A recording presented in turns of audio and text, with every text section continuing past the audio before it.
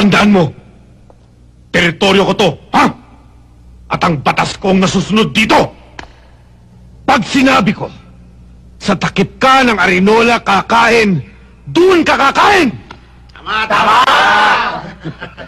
Pag sinabi ko, sa Casillas ka matutulog, doon ka matutulog! At pag sinabi ko, sa pusali ka maliligo, doon ka maliligo! Tama! Naiintindihan mo ba?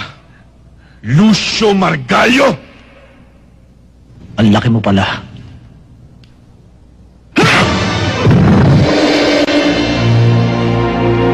Ang laki mo palang lamba.